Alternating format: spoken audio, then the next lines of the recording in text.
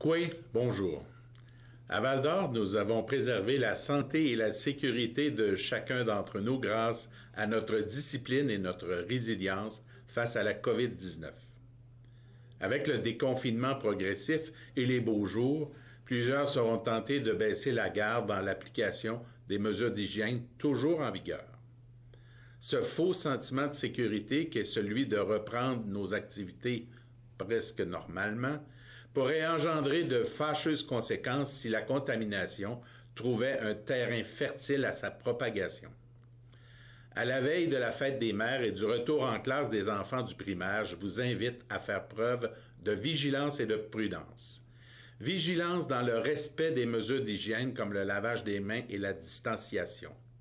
Comme pour la fête de Pâques, la fête des mères sera célébrée chacun chez soi ou avec l'aide des nouvelles technologies.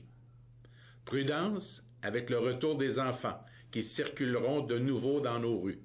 Nos brigadiers seront en poste afin d'assurer leur sécurité, mais votre collaboration demeure essentielle.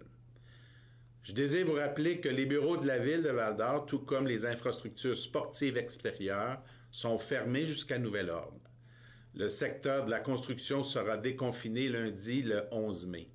Seul notre service de permis inspection sera accessible au public dans le respect des règles édictées par la santé publique.